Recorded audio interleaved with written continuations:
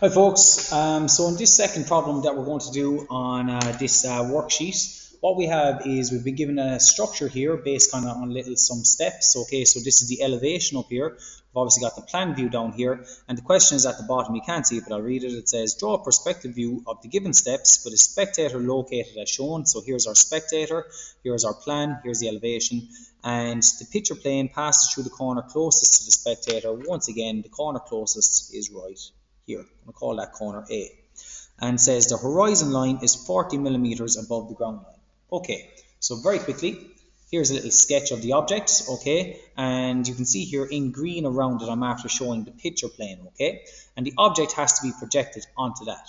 So corner A is the one that's touching it. So very much like the last question, we're going to be able to take our true height of this edge here right from start because it is touching the picture plane. All the other ones will actually have to work out a way. We're going to start off by trying to get this face right here. But very quickly, I'm going to go through the setup again there. Okay, so I'm going to speed this up now in this in this video. So we start off from the spectator looking at the extreme most left of the point or of the object and extreme most right of the object. That sets up our cone of vision. Now that we have set up our cone of vision, I'm now going to bisect that to get my line of sight. So I have to bisect the cone of vision to get my line of sight. Now, now that I've got my line of sight in there, I'm going to set up perpendicular to that line of sight. I'm going to set up a picture plane. Okay, I'm going to label that, in this case, just PP there on the side. Now, parallel to my picture plane, actually do it this way, parallel to my picture plane, I'm going to set up my ground line. So my ground line comes across here, parallel to my picture plane. That's my ground line. And 40 millimeters above my ground line, I'm going to set up my horizon line. Okay, this setup will never ever change. You get marks for the setup in the question in a Leaving Cert exam. That there is my horizon line. HL, just so you can see it there a little bit better. Put it down a little bit further. So you can see I've got my object, picture plane, horizon line, ground line. The last thing I have to set up now is the vanishing points. So to find the vanishing points, they are going to go parallel to the faces. All faces are running in an upward direction, so from the spectator go up to hit the picture plane, and other faces are going horizontal. So I'm going to go horizontal now that I've found those two points where it's hitting the picture plane, from those two points, we're going to go parallel, once again, to our line of sight.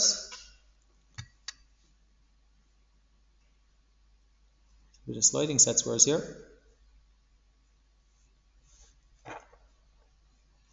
Let's cross now. From there, bring it down. That point right there is going to be VP2.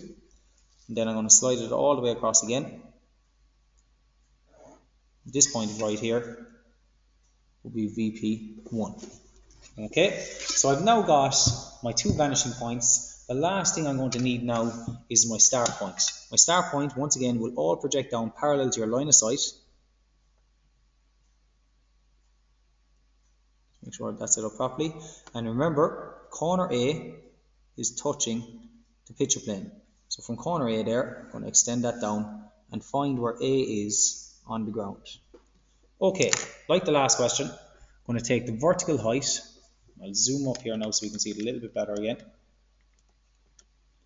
Okay, that should fit it in there. So I'm going to take the height for corner A from here, the first step. I'm going to mark that. And once again, heavy that in. Okay, I've now found that first face or the first corner or first edge of the object. What I need to now find is this part right here. Okay, and then obviously make the rest of the face as we go along. So I'm going to focus on getting all this front face. Now, how do we do that? Start off, I'm going to find this edge. Okay, so that edge is running in this direction in my plan view. So that means when I'm actually going from corner A down here, which is at the bottom, it's on the ground, I'm going to project out or vanish out to VP2 because it is running in this direction. Okay, where does that edge finish? It finishes here, which is this point in my plan view. Now I have to bring down what the spectator's view of that point is. So when the spectator looks at that point, he sees it here, but he sees it here on the picture plane. So from that point right there, I'm going to project it down.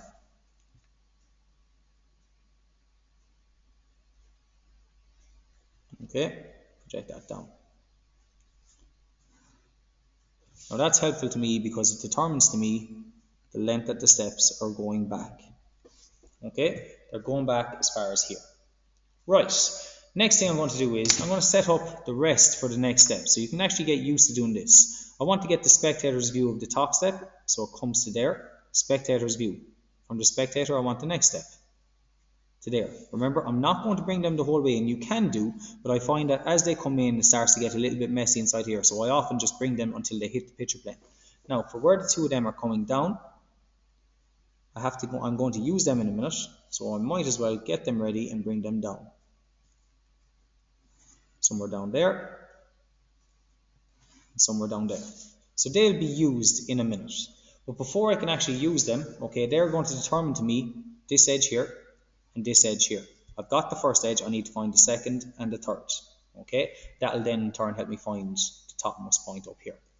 But before I do them, I need to actually figure out how to find these heights. So, I'm going to use an orange this time.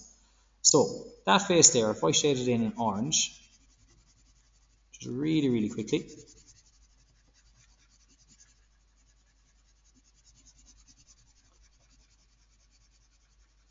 There we go. That face is shaded in orange. The only part of that face that is touching the picture plane is this edge right here. Now, that face, even though we can see it's kind of this step-like structure, it's actually a plane surface, okay? It's just obviously had chunks taken out of it. If we were to actually extend this out, this edge here, all the way out, at some point, that edge there will go through the picture plane. To find where it goes through, if I extend this one up where it actually goes through will be right there. Likewise with the top one, if I extended this edge out, and then once again extended A up, because that's the line that's on the picture plane, that's where the top one is. Now, this height here, which is actually this height, and then the topmost point height from A up to the top, which would be this height, from the XY line up to here. Okay, those heights can be actually measured from A because this here is actually on this whole surface. It's just like this kind of corner chunk looks like an L was taken out of it. You can actually see it there. Okay, that shape there. Okay, so what we're going to do now is we're going to take those heights from A up to here and then A up to here and we're going to vanish them back in this direction which would be in the direction of VP2. Okay, so to get those heights, what I would actually do just to be accurate from here, just do a line up. And then from these guys, so slide set squares here, because my T squares on the ground, parallel to the XY line. Extend this out and this out. Now, the height I'm going to take for the second step, from here out to here, is that height. I'm going to mark it from A. Because remember, it's all on the one plane surface. And I'm going to do the exact same for the height of the third step. there, once again, mark it from A. So there's my various heights. You can see those little marks there. That was the height of the first step. There's the height of the second. There's the height of the third. Now, every one of those steps is on this face here, which is going in this direction. That means I have to vanish them all to VP2. So I'm going to vanish this one ever so lightly. I'm going to vanish the next height.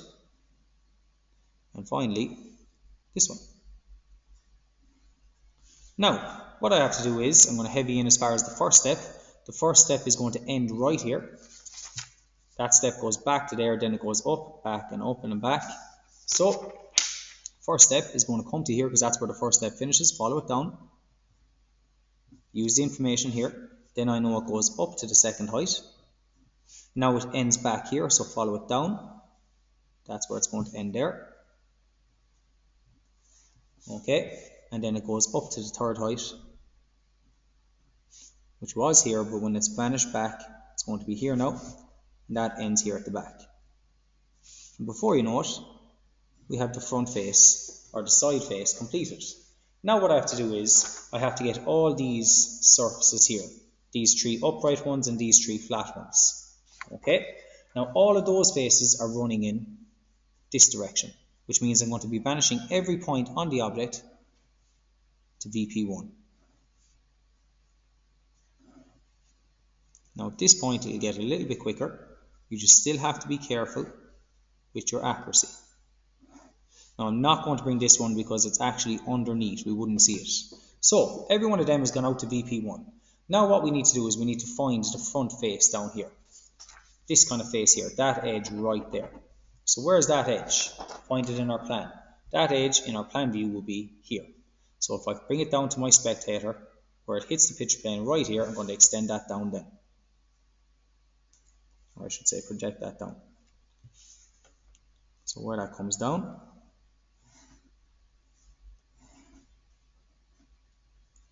Bar was running out. There we go. There we go. Now, where that came down, you can see here, it's after cutting through the line. Heavy this in. And heavy this in. Okay. Now you might ask, how will I find the second one? Well, there's one way I could do it. This is where the edge starts. I could bring it down to my spectator, stop it at the picture plane, and from there, just be very careful with your sliding sets squares. Project it down where it hits the picture plane. Now my second face should be in here. From there